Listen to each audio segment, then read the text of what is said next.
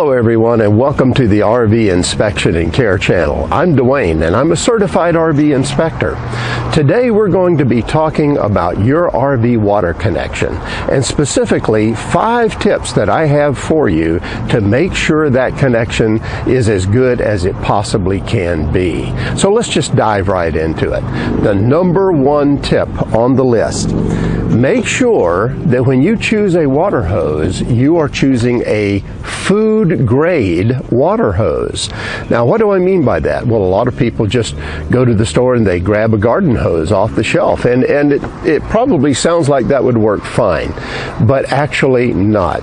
Water or garden hoses are designed with uh, materials in them that can be hazardous to your health if they're ingested. And those materials can leach into the water as the hose is used and you ingest it. So why not be safe?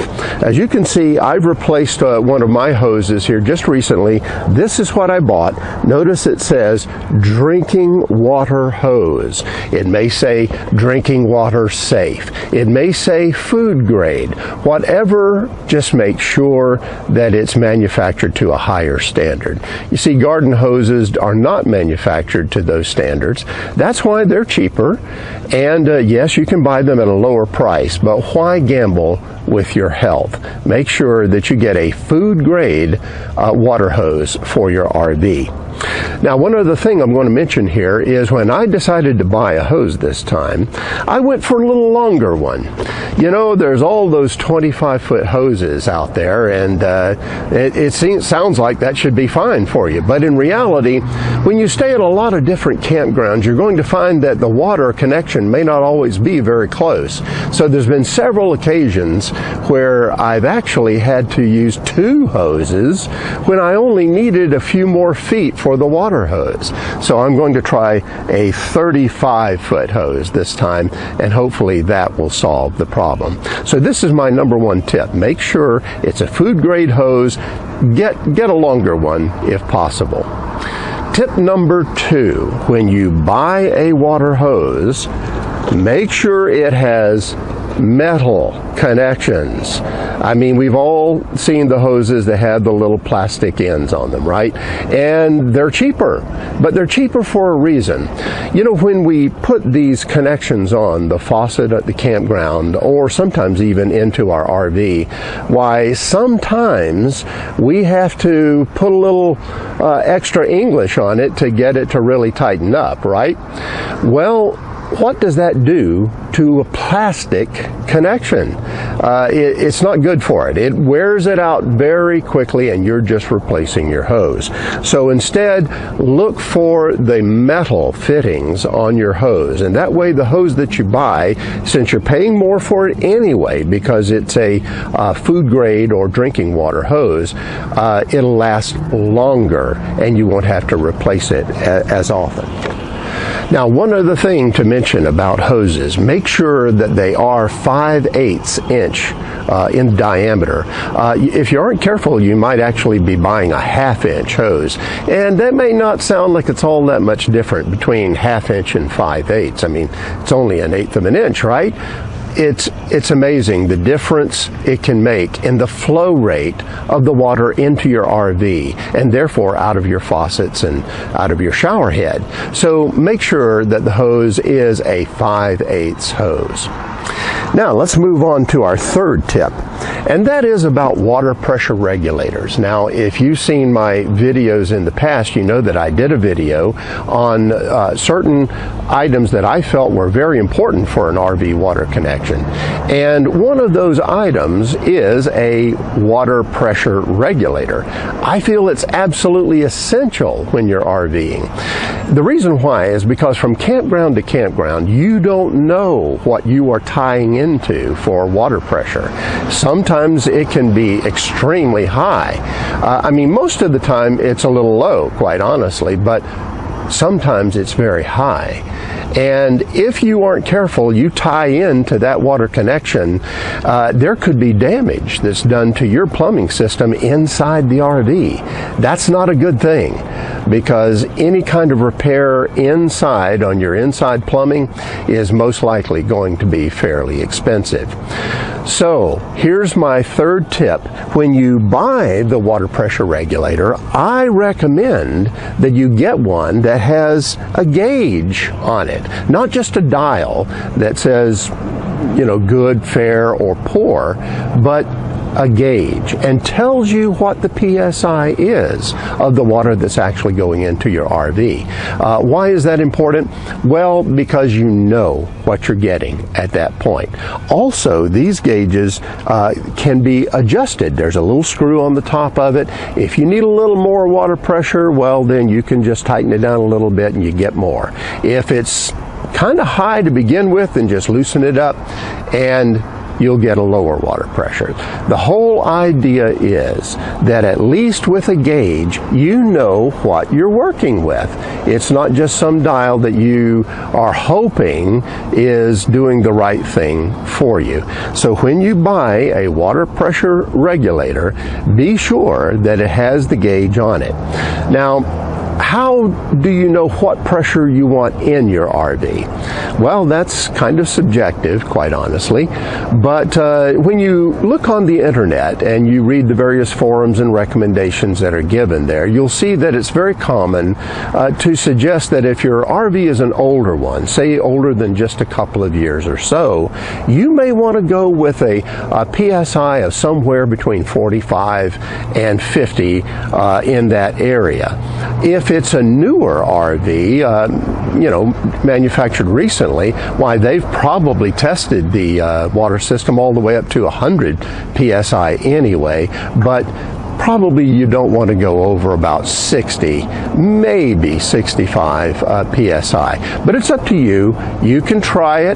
The nice thing is when you have a water pressure regulator with the gauge, it allows you to make the adjustments that you want to make for your RV. Okay, it's time for tip number four, and that is to get one of these or more of these. And what is it? It's a 90 degree elbow for your water connection. And why do you need these anyway? Well, if you've noticed, the water connection on most RVs is vertical. In other words, it's, it's on a vertical wall but your hose is coming in horizontally.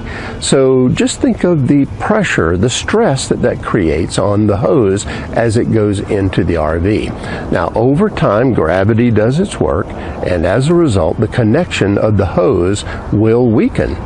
But if you have one of these right here, you just screw that right into that water connection on the side of the RV, and now the hose is coming up from the bottom. Gravity's working with you. It's not working against you. And uh, that's a really good thing. It makes it a lot easier to make these connections. The second reason, or the reason why I would recommend that you have a second uh, elbow or more, is because the faucet connection at the campground often can be kind of weird. In fact, uh, the, it could really come in handy when you have a faucet connection that's low to the ground. You, you may have one uh, that's so low to the ground that it's difficult to get the hose up to it without kinking the hose. And I've had that happen. So with this, you just screw in the 90 degree uh, elbow and then the water connection comes in from the side and uh, everything is fine at that point. So this is a great little thing to have. It won't cost you much, but uh, it will definitely uh, pay for itself in no time. Now, the last thing I want to talk about, tip number five, is what to do with your water connection when it's cold weather. And I'm not talking about just a little chilly. I'm talking about when uh, you get down to maybe around freezing and it might stay that way for a few hours or so. Now, if you're an RVer, and most of us uh, that are full timers, we hit this at some point. Or if you're an RVer that uh, RV is on the shoulder seasons, you know that you can kind of hit a few nights like that where it's very cold. Now, what do you do then? Well, my recommendation is if you know the temperature is going to get down to about freezing and stay around that area for a few hours, disconnect the water supply. Just make sure there's water in your freshwater tank and uh, use that instead. Don't tempt it with the connection from the, the campground faucet. Why do I say that? Well, just recently I had the whole thing uh, brought home to me when I had a connection at a campground faucet and I had my filter tied into that connection because I use one before it goes in to the RV and then a second filter to clean it further inside the RV. Well, the one on the outside, I disconnected the hose from the RV, but I didn't remove the filter from the faucet. The next morning I got up and the faucet, the filter had frozen, the water in it had frozen and expanded and tore that filter in half. Now that brought home to me what water can do to your RV. If it's connected up to uh, a water source and it gets very cold for hours at a time, and this didn't last for a long time, it was just a few hours, but it did its damage. So don't take chances. If you know that uh, the temperature is going to get down to freezing or below, uh, it's best to just unhook and that way you can be safe. And by the way, it's also a good idea to remove any filters out there and put them in where they'll stay warm as well. Now, I want to also mention that uh, if you would, it would be a good idea to watch uh, the video that I have that goes right along with this about water filtration. Uh, it'll fit right in with what we're talking about, and uh, I go into a little bit more discussion about filters and how to use them and so on, and how to get a cost effective and simple water filtration arrangement. Well, if you enjoyed this video that I made today, I would really appreciate it if you would like the video. See, that helps uh, us YouTube creators uh, it, because they like to see videos that have likes. But I like it even more if you would join our online family and subscribe to our channel. I'm putting out videos like this every week now, and you don't want to miss anything because I'm sharing some very important information with you, some that you may not hear anywhere else. So be sure to subscribe. And finally, if you have any comments about water uh, connections, uh, experience you've had in the past with them, what you do that's a little bit different than what we've talked about today, please leave it in the comments below. That would uh, be much appreciated. We would love to hear from your experience as well. Well, that's it for now. Have safe and happy travels, my friends. Until next time.